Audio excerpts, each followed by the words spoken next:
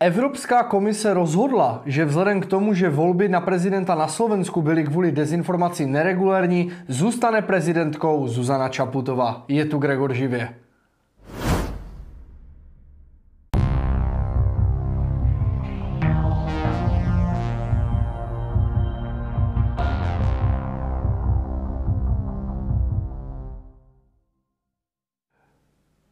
Přátelé, krásný, dobrý večer všem. To, co jsem říkal na začátku, to by eh, se dalo brát jako dobrá legrace, kdyby to bohužel řada lidí skutečně nechtěla slyšet. Slovensko má prezidenta, já posílám gratulaci všem Slovákům a taky čerstvě zvolenému prezidentovi. Eh, gratulace neznamená, že eh, to je můj favorit, protože zkrátka dobře takhle to nefunguje. I když dneska je v politice normální si k vítězstvím negratulovat a pokud to dopadne mimo vaše představy, tak dokonce to vítězství spochybňovat. Taková je dneska realita. Um, Samozřejmě my si budeme povídat nejenom o situaci na Slovensku, ale také o situaci v České republice, konkrétně teda o panu Rakušanovi a panu Fialovi. Takže se na to budeme společně podívat, protože nás toho čeká opravdu hodně. No, eh, na začátek vás samozřejmě poprosím a informuju zítra, to znamená v pondělí 8. Eh, dubna, tak budu prosím vás pěkně v televizi. Je to nevýdané, ale opravdu eh, skutečně je tomu tak a budu se na vás těšit v debatě s Lubomírem Zaorálkem, to je ne předseda, ale lídr, lídr socdem, nebo takhle, ano. A budu tam v 17.55. Takže zítra před pět minut před 6 hodinou Prima CNN, co na to vaše peněženka, Matěj Gregor, Lubomír Zaorálek a e, zajímavá témata voleb na Slovensku, ale také evropský voleb. Takže doufám, že budete sledovat. Na začátek vás hned poprosím, sdílejte dnešní stream, ať se vám líbí, protože e, čím více nás tady bude, tak tím bude zajímavějších podnětů do vysílání a tak dále a tak dále a bude to mít e, samozřejmě samozřejmě mnohem větší smysl. Takže budu moc rád za každý palec nahoru, odběr a zvoneček na našem kanále, samozřejmě vaše komentáře a milé připomínky, bez těch by to nešlo. A pochopitelně, jak jsem říkal, sdílení. Kdybyste naši tvorbu chtěli podpořit, tak po mé levé straně vidíte QR kód, případně číslo účtu v popisku videa. Každá koruna se počítá a já moc děkuji všem dárcům, kteří si um, rozhodli náš kanál jakkoliv podpořit. No a já myslím, že tohle už by mohlo eh, stačit na ty naše úvodní úvodní eh, pozdravy, pochopitelně všechny eh, zdravím. A já jsem z těch voleb na Slovensku takový eh, ne veselý, ale naopak spíše trošku, eh, jak to teď říct to správné slovo, vždycky mi na tom živém vysílání vypadne. No, řekněme, že mě zklamalo, zklamalo mě lidsky, jak netolerantní už k sobě jsme, protože eh, souboj Petra Pellegriniho a Ivana Korčoka ukázal, že lidé už nejsou schopni chtít respektovat vítězství jedné druhé strany a říkám si, co nám to věští, tahle situace, co nám to říká o tom, co nás čeká v listopadu ve Spojených státech, protože tam ta situace bude určitě mnohem vyhrocenější, než jako byla na Slovensku. A říkám si, že i ta slovenská mentalita je mnohem inteligentnější než ta americká aby náhodou ti američani se tam nějak nepobili.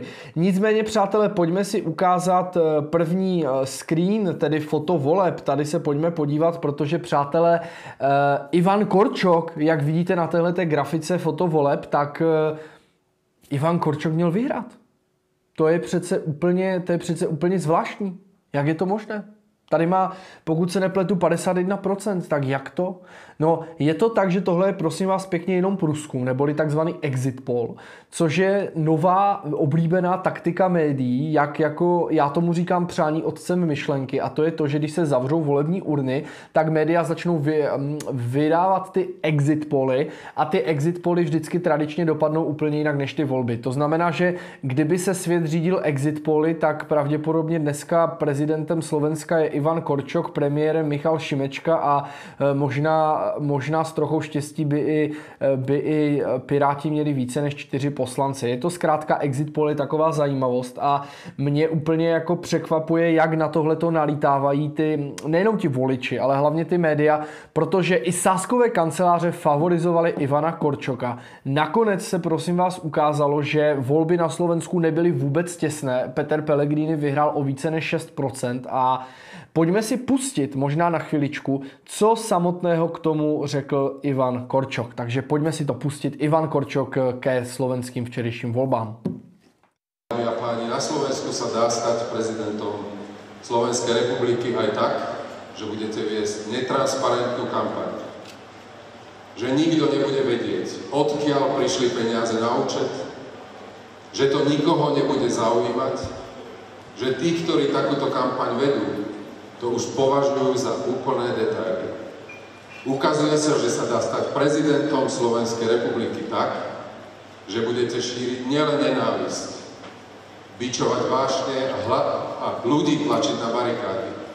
Ale kampaň sa dá vyhrať aj tak, že z toho druhého, aby som bol presný, so mňa, urobíte kandidáta vojny. Chcem vám povedať jedno veľmi zretelné a jasné. Toto vám nezabudneme.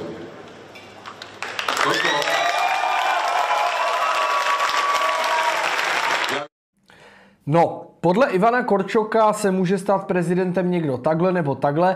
Každopádně zatím to vypadá, že prezidentem Slovenska ani Česka se nemůže stát zatím špatně nastrojený eh, člověk s falešnými brýlemi, protože jak Jiří Drahoš, tak Ivan Korčok neuspěli a mě trošku zaráží, že pan Korčok si prosím vás pěkně stěžuje na lži v kampani a sám se několika lží dopouští. Ta jeho věta Peter, to ti nezabudnem, tak eh, teda ve mně trošku rezonovala.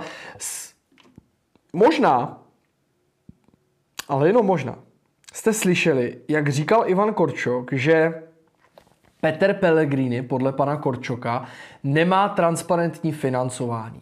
Já vám tady ukážu jeden screen jednoho účtu, takže ho teď vidíte na obrazovce. A tady tenhle ten účet, tak je prosím vás pěkně Petra Pellegriniho. A tenhle ten účet je transparentní. Tenhle účet, na který si můžete najít, když napíšete Peter Pellegrini web, tak má na svém webu transparentní účet a můžete se úplně podívat na každou jednu platbu, která na účet Petra Pellegriniho přišla a která z jeho účtu odešla. Nevím teda, kde pan Korčok přišel na to, že by Petr Pellegrini neměl transparentní účet a transparentní financování kampaně a docela mě i překvapilo to, jak eh, říkal, že kampaň byla nenávistná. Pojďme si ukázat ještě z minulého streamu tady tuhle tu fotku Petra Pellegriniho s nějakým mužem, kdy eh, se snažili slovenští podporovatelé Korčoka označit Petra Pellegriniho eh, nenávistnými homofobními poznámkami. Vy to tady teď vidíte, to je ta fotka z té Itálie, kterou teď tady máte Petr Pellegrini tam je s nějakým mužem a na Twitteru už se konspirovalo, kdo je ten muž, jestli je to jeho přítel. Takže evidentně eh, podporovatele Ivana Korčoka eh, útočili na Pellegriniho sexualitu, ale teď pan Korčok teda říká, že ta kampaň byla nenávistná, že Pellegrini mu to nezabudne, že měl netransparentní financování. Já vám prostě nevím. Mně se to nějak celé nezdá. Já mám spíš pocit, že pan Korčok jako neunesl porážku hodně hodně ji neunesl. A je to takový podobný scénář, jako byl u Michala Šimečky, eh, když prohrál s progresívním Slovenskem ony nedávné volby na Slovensku. Protože já o tom asi budu zítra mluvit na primě v těch šest s tím Lubomírem za Orálkem o tom Slovensku, ale co se hodí říct už teď je, přátelé, to, že e, my musíme respektovat to, koho si Slováci zvolili a může nám být úplně jedno, koho si zvolili. Je to jejich volba, ty volby jsou demokratické, oni si zvolili s velkým mandátem jak Roberta Fica a Petra Pellegriniho, respektive hnutí hlas, tak stejně si zvolili Petra Pellegriniho za, je, za svého prezidenta. Stejně tak, jak si před pěti lety zvolili Zuzanu Čaputovou, kterou jsme respektovali, protože evidentně její názory byly více pro unijní, byla více pro západní a to nám Čechům evidentně asi nevadilo. A teď, když je prezidentem někdo, kdo má vidění světa trochu jiné, tak najednou spochybňujeme demokratické volby. Možná si říkáte, že přeháním, ale já vám skutečně tady ukážu, tohle je prosím pěkně výrok eh, Jiřího eh, Jiřiny Pospíšila, to je taky skvělé počteníčko, takže se na to určitě, určitě podívejte.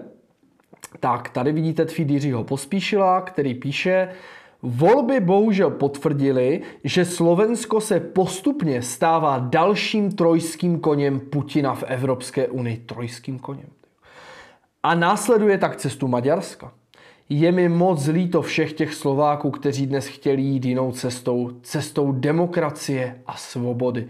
Smutný, ubrečený smajlík a slovenská vlajka, podepsán Jiří Pospíšil. No, Takhle, já to musím říct jinak. Jiří Pospíšil má cit pro drama, to se všichni zhodneme. Opravdu, kdyby se vybíral uh, vlastně nějaký divadelní sbor složený pouze z politiků, tak Jiří Pospíšil je buď režisér nebo hraje hlavní roli. Napadlo mě, že by možná mohl, mohl hrát v nějaké hře, no to je jedno, třeba v 1984, ale uh, jedno mi to není, protože Jiří Pospíšil je europoslanec a ještě pár měsíců a on jako europoslanec tady roztáčí takovou nebezpečnou nebezpečnou spirálu toho, že nechceme respektovat slovenské volby. Uh, Nevím, co přesně znamená být trojským koněm Putina, protože Evropská unie není jenom jediným združením. Slováci jsou pořád členové NATO. A moc teda nechápu, proč by mělo Slovensko být trojským koněm Putina a následovat tak cestu Maďarska v čem přesně. To, že Maďaři také vyhráli drtivě volby, respektive Fidesz Viktora Orbána, to je pravda, ale nedokážu nějak tu myšlenku Jiřího Pospíšila uchopit, ale spíš přemýšlím, jestli tam vůbec k tomu uchopení něco je. Ale ukážeme si mnohem lepší tweet, na který jsem zareagoval a to je prosím vás pěkně tweet Filipa Nerudy, což je nejstarší syn Danuše Nerudové. V tuhle tu chvíli je mu necelých 18 let. A Filda uh, Neruda jistě mi odpustí tuhle generační přátelskou přezdívku, tak prosím vás pěkně, Filip Neruda napsal, že na Slovensku vyhrál populismus a dezinformace. Smutný, to k tomu napsal. A já jsem mu odepsal, že vyhrál kandidát, který měl nadpoloviční většinu hlasů a že ty slova jako populismus nebo ta slova jako dezinformace, to si podle mě hodně vymýšlí lidi, kteří tu demokracii nemají rádi. No, zkrátka demokracie ano, ale budou kandidovat jenom ti, kdo chceme a vyhrávat jenom ti, kdo chceme. Jinak to demokracie není. Takhle bohužel někteří pro unijní fanoušci vidí demokracii já jsem teda potom dostal komentář, že eh, pro ruským hlasům budu, budu se za proruské hlasy rvát hlava nehlava.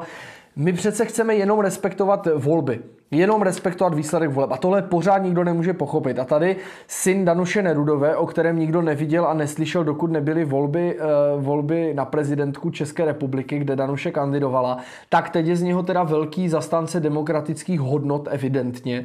Leží mu z osud Slovenska na srdci. Kdyby kandidoval Ivan Korčok, teda nebo zvítězil, omlouvám se za nepřesnost, kdyby zvítězil Ivan Korčok, bylo by to podle Danuše Nerudové i Filipa Nerudy vítězství demokracie a svobody.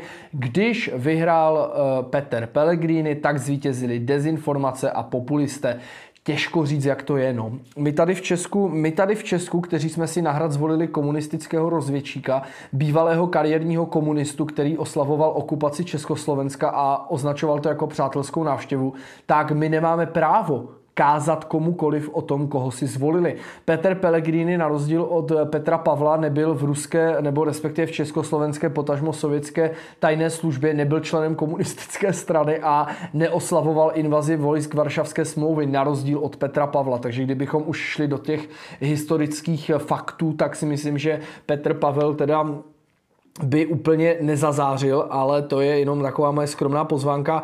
Přátelé, já děkuji, že sledujete dnešní vysílání. Jsem rád, že, vám, že vás nejenom slovenské volby, ale další témata baví. Budu samozřejmě moc rád, když budete sdílet dnešní stream. Můžete dát palec nahoru, odběr na náš kanál, moc nám to všechno pomůže. A kdybyste chtěli přispět na mou práci, na to, abychom mohli vysílat, jezdit po republice, aby to zkrátka stálo za to, tak budeme moc rádi, když nám přispějete jakoukoliv korunkou. Tady nalevo vidíte QR kód, v popisku máte číslo účtu Každému dárci srdečně děkuju. Vím, že to není samozřejmost a moc si toho vážím, protože bez vás by nic takového vznikat nemohlo, přátelé. A ještě vám tady musím ukázat naši novou nekorektní edici, kterou vám tady teď ukáže režie. To jsou prosím pěkně nová trička a mikiny, která tu bohužel nemám. E, nicméně si je můžete už teď objednávat na e-shopu www.pravdavítězí.cz. Máme tam tričko s granátem Green Dealu, cenzuršana a samozřejmě i to, co se týká dezinformací informací. Takže mrkněte na to, odkaz je v popisku, v chatu, všude v komentářích ho vidíte. Doprava zdarma, platba na dobírku až k vám domů, kvalitní oblečení s vtipnými motivy. Samozřejmě nemáme jenom pro tady tyhle ty uh, nekorektní, máme i uh, motivy s národními symboly. Můžete se mrknout. No, A mě, přátelé, abych ještě uzavřel téma Slovensko, tak já jenom řeknu, že je mi to moc líto a že chci všem Slovákům říct, že věřím v to, že většina naší země opravdu respektuje vaše volby. Nemáme ambici vám říkat, jak máte žít, respektujeme, že jste suverénní stát a uh, ty naše dobré vztahy prostě považujeme za něco ceného. To nemá každý stát takového bratra po boku a mně je úplně jedno, kdo vám vládne. Já vám držím palce, ať se děje, co se děje a doufám, že vy ty palce držíte nám, protože eh, spolu nás spojí stoletá historie, která sahá až do dob národního obrození. My prostě jsme spolu svázaní už hodně dlouho. No a mrzí mě, že to naši představitelé takhle tak zneužívají, protože si to vůbec nezasloužíme my jako, my jako občané. A to je asi všechno, co bych k tomu takhle chtěl říct. My musíme táhnout za jeden pro vás. Evropská unie na nás chystá zákaz aut, chystá migrační dohodu. Vy sami víte, jaké to je přijít o suverénní slovenskou korunu, platit eurem, že to vždycky výhodné není. Na nás se to teď sype a jestli chceme tomu čelit, tak musíme táhnout za jeden pro vás. A já opravdu kandiduju do toho Evropského parlamentu i proto za svobodné, abych eh, mohl tyhle vztahy posílit. Abych spolupracoval s vašimi europoslanci, s polskými europoslanci i s těmi maďarskými, protože eh, víme jednu věc. Jestli se chceme bránit migraci, jestli se chceme bránit eh, zavedení Green Dealu a zákazu aut a jestli chceme zachovat suverenitu členských států, tak to neprosadíme ani s Němcama, ani s Francouzi, s nikým. Prosadíme to pouze my na bázi Vyšegrádské čtyřky a dalších konzervativních zemí suverénních. Takže já se těším, až budeme spolupracovat, jestli nám tady volby do Evropského parlamentu dopadnou dobře a já věřím, že jo, protože ta podpora od vás diváků je úplně neuvěřitelná. Takže já věřím, že nám to dopadne dobře a těším se na tu spolupráci. Takže nebuďte na nás zlí, protože vám pan Pospíšil mluví něco o demokracii. Pan Pospíšil je úplně z, naprosto jako uh, zanedbatelné strany a on sám teď více řeší svou účast v kauze Dozimetr, takže je možná trochu nervózní a věřím, že si jenom vypil moc vína. Takže tak. Přátelé, tohle by bylo Slovensko. Vy slyšíte, že ještě můj hlas regeneruje, že ještě to není úplně na 100%, na 100% takže já se napiju.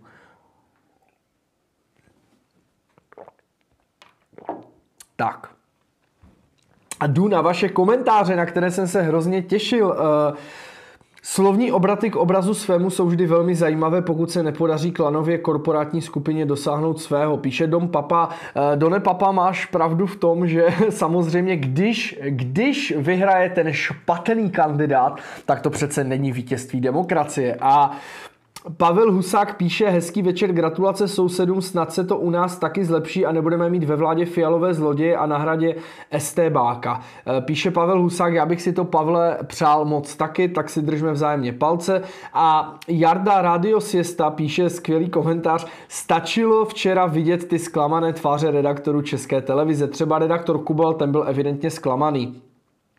Uh, Víte, Jardo, to je hrozně vtipné tohleto sledovat, protože eh, česká televize, ta už si myslím, že jestli eh, pěti koalice prohraje volby, nebo jestli se eh, svobodní dostaneme do Evropského parlamentu, tak já věřím, že tam v tom volebním studiu normálně budou i slzy už. Já si myslím, že jestli tam bude třeba takový pan Kuba Železný, náš morální maják, který, pokud byste nevěděli, celou dobu informoval o tom, že olympiáda se koná v totalitní a, jak to řekl, komunistické Číně, tak já myslím, že tam budou nové kapesníky. To bude brek, to bude jekot, to prostě, uh, oni už to v české televizi nedávají, ale vy se nemůžete divit, přátelé. Česká televize to je přece oáza demokracie, tam žádný extremista, populista ani euroskeptik a putinovské koště přece nebude rozvracet naši demokracii v české televizi. Co, co si to vůbec myslíte? Vy plaťte 135 korun měsíčně a nechte naše elitní žurnalisty v čele s Václavem Noravcem, Norou Friedrichovou a Donet donedávna i s Markem Volnerem dělat jejich práci, přátelé. Vy, jste, vy přece nejste jim rovní. Vy, vy prostě, oni, všichni jsme si rovni, ale redaktoři České televize, oni, oni vidí za tu oponu, přátelé. Opravdu. Jo? Takže bacha na to, bacha na to. Samozřejmě si mám legraci, kdyby to byl někdo jako já, kdo nepozná ironii, protože já taky mám problém občas, občas poznat ironii, u Petra Fialy teda vím, že už to ironie není, že on fakt je hloupý, ale, ale někdy mi to dělá problém.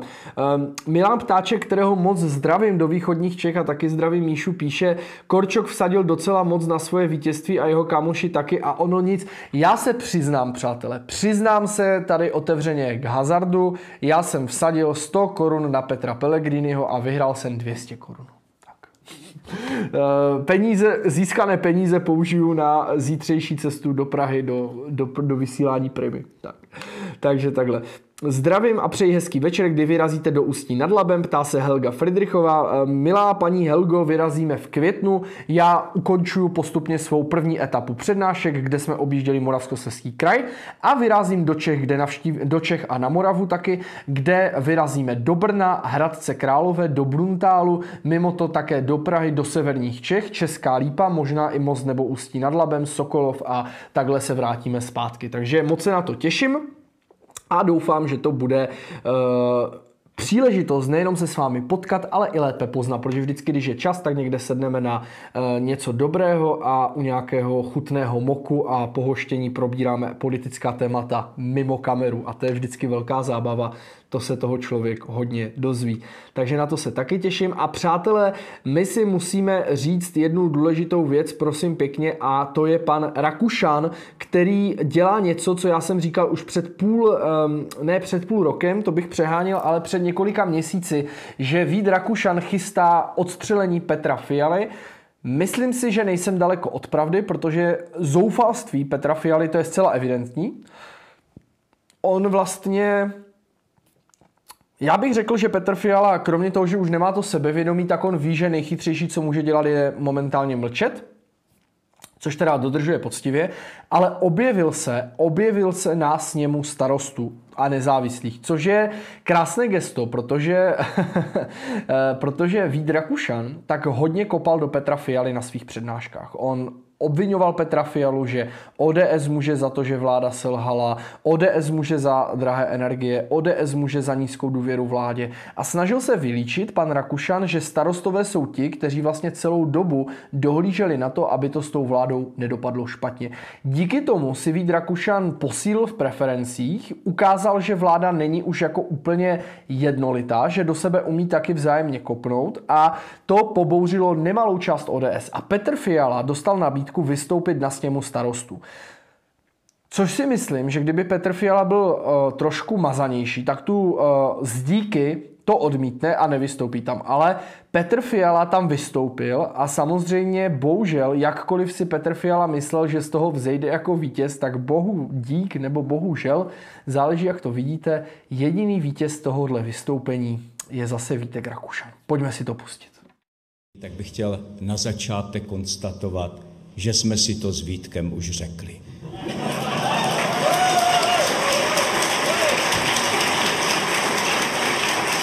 Dámy a pánové, tohle nebylo špatné.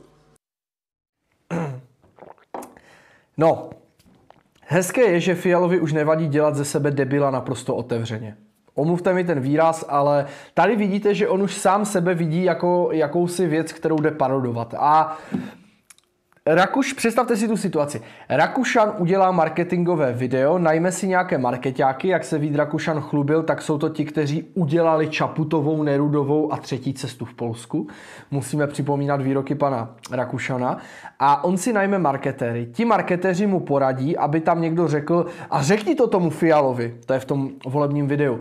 Fiala to teda uh, obdrží tuhle tu pecku, tuhle tu koaliční kudlu dozad, tenhle ten kopanec do varlat a má příležitost se proti Rakušanovi postavit a říct mu, hele, ty smrade, já jsem tady největší strana, já jsem předseda vlády a ještě jednou tohle uděláš, tak prostě běž pryč a já si klidně dovládnu s hnutím ano. Ale samozřejmě nadsázkou, jo. Ale co se stane, nebo co čert nechtěl, tak, tak Fiala na to nezareaguje vůbec. Rakušan objíždí republiku, říká tam, jak z národní čest, jak je Fiala jako neschopný a tak podobně. A potom pozve uh, Fialu na sněm.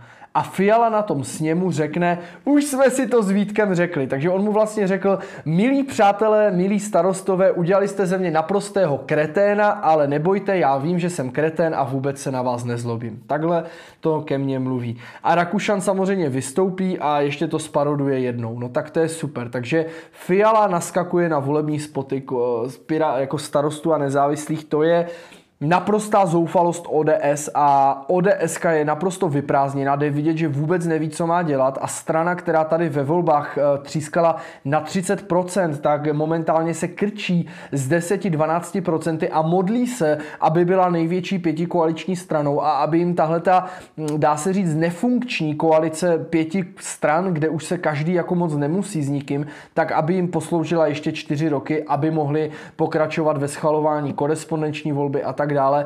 Milí diváci, myslím si, že tohle je jasná známka toho, že ODS už je mrtvá, je to mrtvá strana, která už žádnou další generaci nepřivede. Mladí politici ti tam rozhodně jsou. Já bych mohl zmínit Skopečka, Kupku, Můžeme zmínit určitě i nějaké ty uh, menší politiky komunální, ale ta generace tam nedostává prostor, oni odejdou, vidíte, že Skopečka uklidili na uh, místo místo předsedy poslanecké sněmovny nic nepřijde a ukazuje se, že jediná pravicová euroskeptická strana, jako byla ODS, s programem opravdu dělaný i pro lidi, kteří podnikají, kteří chtějí tu osobní svobodu, kteří nechtějí to omezování, ten stát za tím zadkem, jsou prostě svobodní. Je to tak, protože jsou tady euroskeptické strany, některé jsou nalevo, mají silný sociální program, mají nějaké věci. My jako svobodní, ale když chcete stranu, jaká byla ODS, že měla nízké daně a chcete, aby tam nebyli podvodníci, jako je Marek Benda, nechci ho tady jako označovat, ale je to ta stará garda,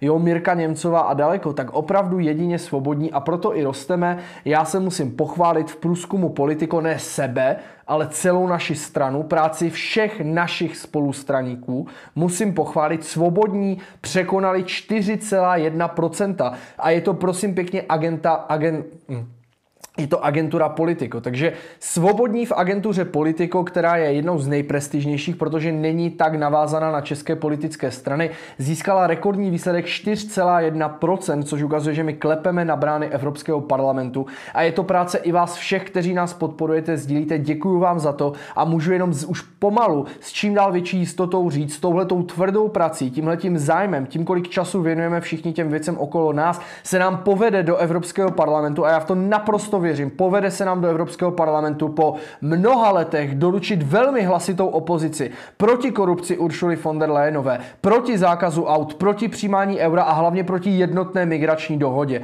A svobodní jsou velice blízko, troufnu si říct, že už dýcháme na záda bruselskému aparátu a stačí velmi málo a budeme tam. A potom se začnou dít věci, protože my budeme snad tou nejhlasitější stranou bez ohledu na velikost v celém Evropském parlamentu. A já se na tu práci, pokud tu příležitost dostanu já, pokud mě zakřížkujete, abych vyskočil nahoru, tak já se na to hrozně moc těším. Protože to, co si říkáme tady, konečně zazní na té půdě. A i Petr Fiala nám tou svojí neschopností, tím, že za jeho vlády se podpora Andreje Babiše zvedla takhle, koalice, která měla zničit Babišeho, vlastně e, dostane na jeho nejvyšší preference, tak i díky tomu ti lidi k nám prostě chodí, všechny průzkumy nás dávají nahoru, nějaký STEM, který dává zeleným 3%, to nikoho nezajímá, to jsou naprosto nerelevantní průzkumy. STEM to, je, jako, to nemá relevanci na volební průzkumy, jo? STEM je dobrý, když si chcete zjistit, já nevím, kolik lidí je spokojeno s počasím a ne s politikou a, a jako Děkuju vám za to. Zasloužíte si velké dík, protože je to hlavně díky vaší práci, ne díky naši.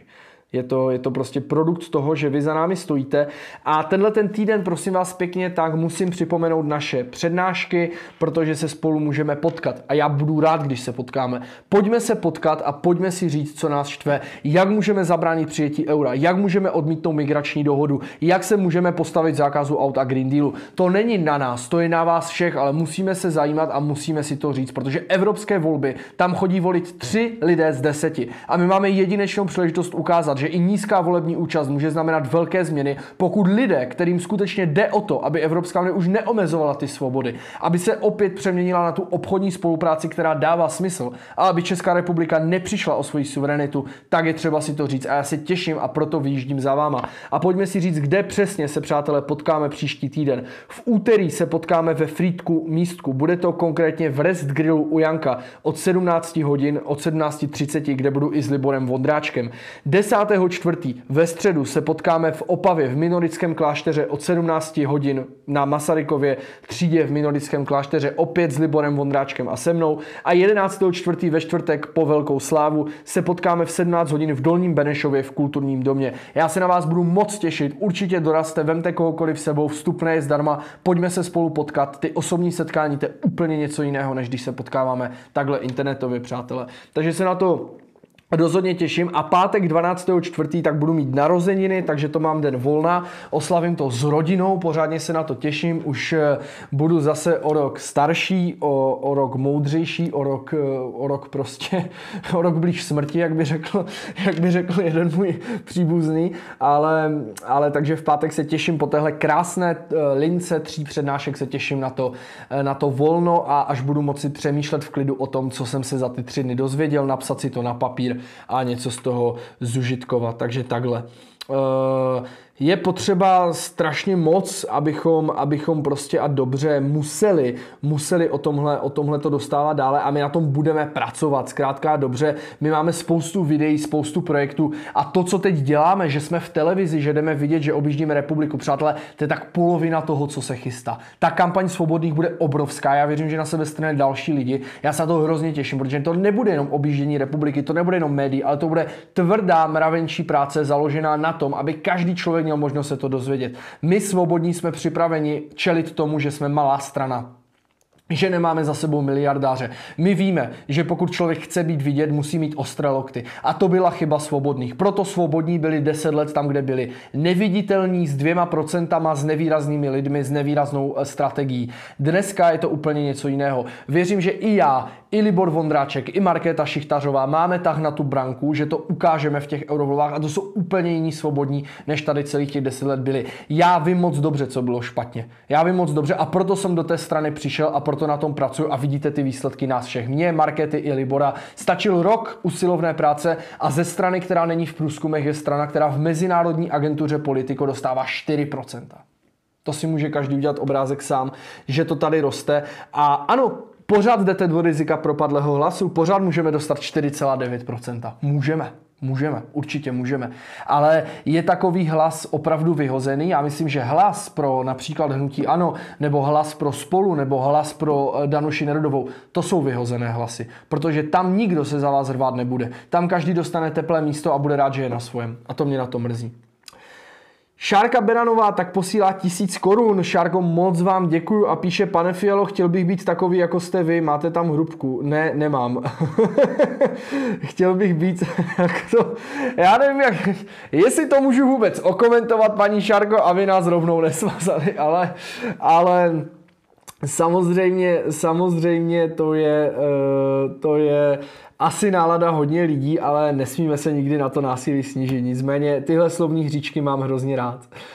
Takže uh, to je fajn, ať ti leta běží, synku, aspoň když se osvědčíš, můžeš skočit po hradu, píše Ladislav Dohnal. No tak do hradu mi pořád skoro 20 let zbývá a upřímně uh, jako ten prezident toho za stolík nezmůže, takže budu rád, když dostanu příležitost teď něco dělat, něco někde jezdit a nebýt jen taková farma na státní vyznamenání. Nicméně moc děkuji Šárce za, za tu podporu. No a přátelé, koalice spolu tak se nehádá s Vítem Rakušanem jenom o tyhle věci, ale hádá se dokonce i o post eurokomisaře. A když jde o eurokomisaře, tak jde o hodně, protože eurokomisař to je nejvýznamnější politická funkce, kterou může Česká republika mít. Opravdu eurokomisař je pro Evropskou unii víc než premiér Fiala. A to, že premiér Fiala vždycky na těch schůzích stojí takhle daleko, že byste ho ani neviděli na kameře, to není náhoda, protože zkrátka dobře Češi jsou nám ukradení. Evropské unii. Úplně. My pro ně nejsme v ničem relevantní. No a pojďme si uh, pustit tenhle ten článek Rakušana na iDnes a mně hrozně se líbí ten Rakušanův velmi, velmi, velmi rostomilý, rostomilý styl um, uvažování. Uh, a to je prosím vás pěkně, že si s Fialou na něco plácnu. Dívejte, jak on to řekl krásně. Navrhujeme mi, podal jsem si na to ruku s premiérem. To je kauza eurokomisaře. Pěti koalice, která už má dva roky podepsanou koaliční smlouvu, se není schopná dohodnout na tom, která strana obdrží post eurokomisaře. Eurokomisaře navrhuje vláda. To pravděpodobně vznikne z vládě. A tři strany se hádají o to, že chtějí eurokomisaře. Například Aleksandr Vondra v ODS řekl, že ještě nic není dohodnuto. V lednu, jak ukazuje tento článek, si o post eurokomisaře řekla také Pirátská strana. Pojďme se na to podívat. Marcel Koleja řekl, že europoslance budou eurokomisaře, budou mít Piráti, že je to dohodnuté. Kde je pravda, to nikdo neví. Někde v koaliční smlouvě to údajně napsáno je, ale žádná z pěti koaličních stran nechce ukázat, jaká je opravdové znění. To je ta upřímnost, kterou bohužel pěti koalice nemá. Kdybychom o tom rozhodovali my ve svobodných, tak my vezmeme a jako svobodní napíšeme tohodle eurokomisaře dáme do eurovoleb, nebo bychom řekli dáme ho do Evropské komise, takhle jsme si podali ruku a řekli bychom to voličům dva roky předem. Řekli bychom ano, v koalici jsme se domluvili, že eurokomisaře bude mít tahle strana. A bylo by to od začátku jasné.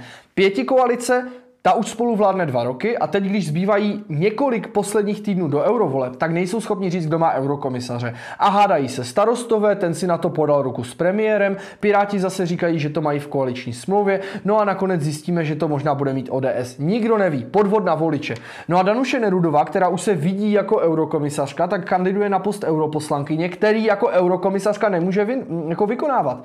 Takže mladí lidé dají hlas Danuši Nerudové, aby v Evropském parlamentu zastupovala jejich hlas a potom Danuše Nerudová řekne ahoj, já odjíždím do Evropské komise, protože tam mám dvakrát více peněz, a pustí tam za sebe náhradníka.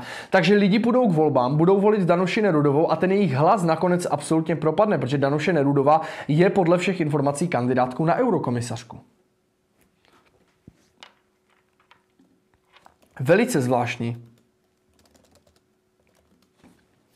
Velice, velice zvláštní. No, a když jsme u těchto těch zajímavých věcí, u těchto těch, u těchto těch zvláštností, tak určitě, uh, určitě stojí za to zmínit i to, že Piráti byli opravdu přesvědčeni, že Marcel Kolaja bude oním, oním, onen eurokomisař. A to mně přijde děsivé, protože Marcel Kolaja to je opravdu jako to je trošku psychopatie, protože Marcel Kola ten je proti jaderné energetice, pro zákaz aut na spalovací motor. To je taková kombinace Danuše Nerudové a Mikuláše Pexy, což si dovedete představit, že je opravdu jako, jako veliký, veliký průser. Takže si úplně nejsem jistý, jak to nakonec dopadne. Přátelé, já děkuju, že sledujete stream. Budu moc rád, když um, nejenom budete sdílet stream, napíšete komentář, podpořit nás samozřejmě můžete, jak zmíním naposledy QR kódem tady po levé straně, číslo účtu máme v popisku. Moc vám děkuju. Ta kampaň je finančně náročná, nebudu tady jako, jako normální člověk lhát, já prostě nejsem nějak z extrémně zajištěných poměrů, ale to neznamená, že na tu kampaň peníze nemáme, ale každá koruna nám prostě pomáhá. Zítra mě můžete od 17.55 vidět na primě CNN v duelu s Lubomírem za Urálkem, kde budeme řešit slovenské volby. Já se na to samozřejmě budu moc těšit, doufám, že tam u toho aspoň na dálku na obrazovce budete se mnou. A pokud byste chtěli mrknout na naši novou nekorektní edici, která je opravdu hodně nekorektní, kvalitní, tak tady ukazuju, jsou to trička a mikiny s těmihle motivy, doprava zdarma, platba na dobírku, kvalitní materiál, eh, odkaz www.pravda-vítězí.cz je v popisku videa, v chatu i v komentářích. Budu moc rád, když se tam podíváte a něco si vyberete. Každá koruna je zase eh, pro nás jenom čistě na podporu, takže tenhle e-shop nás podporuje. Děkujeme moc, přátelé. Tady někdo píše ještě, uh, co dělal Ropušan doteď? Krysy vždy opouštějí první potápějící se loď, píše Sonio. Sonio, máte pravdu, Rakušan ví, že je to prostě v, v kelu, jak říkáme na Ostravsku a ono to určitě prostě dopadne tím způsobem, že tak pěti koalice dostane výprask a musíme, musíme na to být připraveni, protože Rakušan už to vidí, že ten odliv těch voličů spolu je a snaží se je pochopitelně zasi, za, zachytit. A slibuje jim hory doly, neštítí se okopávat své koaliční partnery, protože Fi, uh, on ví ten Rakušan, že Fiala tu vládu položit nemůže. On ví, že je v úzkých a že ten Fiala udělá vždycky to, co chce on. A vidíte, že Fiala je skutečně velmi slabý lídr, který vždycky udělá pouze to, co eh, mu dovolí ta malá odvaha, protože Fiala o ničem nerozhoduje a jediný cíl těch komotrů v ODS je držet se na těch ministerstvech a držet se u těch koryt co nejdéle.